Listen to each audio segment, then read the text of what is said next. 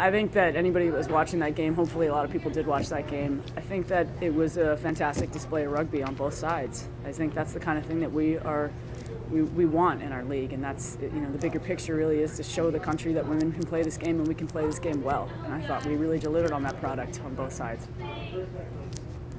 Questions for Coach Carlson? you. what was going on in your head in the last few minutes of that game? What what wasn't? I felt like I played a rugby game after I was done.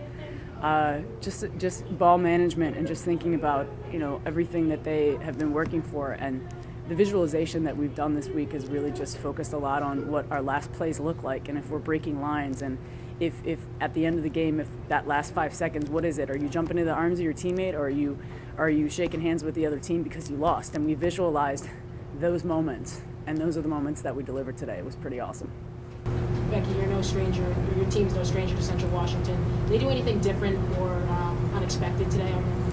You know, Central did a fantastic job moving the ball off the 10, and it stifled our insides and our outsides quite a bit. And they did the right stuff in the beginning of the game, and we just had to answer back and tighten up at, at halftime. And that's the adjustment that we had to make. But uh, no real surprises. Uh, they're quick, uh, and you know, it definitely shows why they're in the semifinals. Aggie Wesolowski to you. Uh, big kicks to that. You had a special moment with her afterwards. How important has she been to this team? She's been fantastic, and I know that we took we took a, a little bit of criticism in the beginning, as we should have, because our kicking game was not on, and you know Maggie Wesolowski was not the intended kicker. It was Riley Saunders, and Riley Saunders went down in the Dartmouth game and hadn't been back since, and and and Weza was the go-to, and she stepped up to it and said, "Coach, I know I'm not the best option right now, but I will be, and I promise you I'll deliver on those big points." And you saw her do that today. So there's nothing better than seeing an athlete from from, and that that right side is actually her her favorite side. So.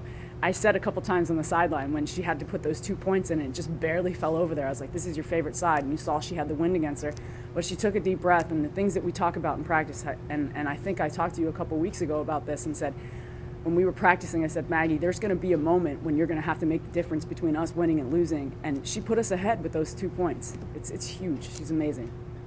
Speaking of kicking, can you just talk about the decision to go for three there at the end of the game? You know, uh, once we knew that we were, it, we had the opportunity to, to be two scores ahead, we said, why not take it? And we believe in our kicker, and just as we just talked about, and we knew that uh, that that Maggie could could deliver on that. And even though she missed that kick, it was slowing the game down in the pace, and it wasn't it wasn't requiring us to go into too much contact. And it was it, it was a it was a safer option for us. But as you can see, we definitely weren't playing safe at the end when we put that many points on the board in that little amount of time. I mean, we were just going for it. So why not slow it, slow the pace down a little bit? That was our choice.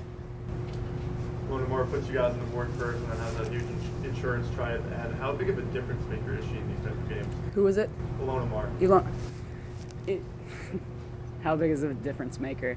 Uh, I don't know. I feel like the NFL sometimes should be looking at Ilona Moore, but she is she's she's steady. She's sturdy. Uh, you want the ball in her hands, absolutely, to, to make those big finishes. But more more so, I think that when the opposition lines up against Ilona, everybody's looking at her, and so I think that that opposition lining up against Ilona and being more concerned about her is what opened the holes up today for Mika. We ran a 13, we called a 13 cheddar. We ran it on the inside, and it was cheddar all day. And Mika just delivered, and Ilona was there. But if Mika doesn't take those tries, if, if people aren't looking at Ilona and expecting Ilona to make some big plays, but she's just she's absolutely phenomenal. She's she's unstoppable, and she's incredibly talented, and we're just we're so lucky to have her.